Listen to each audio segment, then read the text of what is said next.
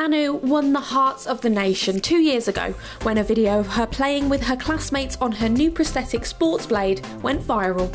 A staggering 17.5 million people have seen the clip of Anu, sending her to internet stardom.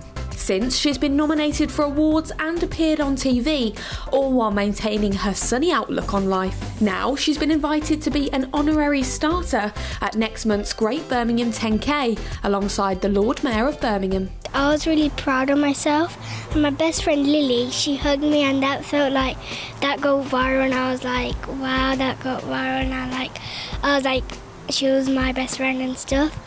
That's how I felt really proud and for showing my friends it feels more comfortable because if I don't show my friends how would I like go, if I go on stage how would I perform and stuff it feels amazing because I want to run and I want to make other people proud too so I feel amazed and all of those because lots of people are doing it with me so I don't feel shy or anything.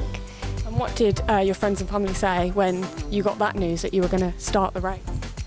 I think they feel a bit proud because I can run more and like I can get like more um, exercise on my leg because I don't run that much.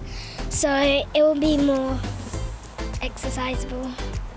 How what was life like before you had your new leg? I was amazed when I had this because I, I was never I never thought that I'd have a sports leg and my prosthesis leg. You know, like I couldn't run that much, but with this leg I can jump and all of those stuff. So I feel like, wow. Hear more of Anu's story after this.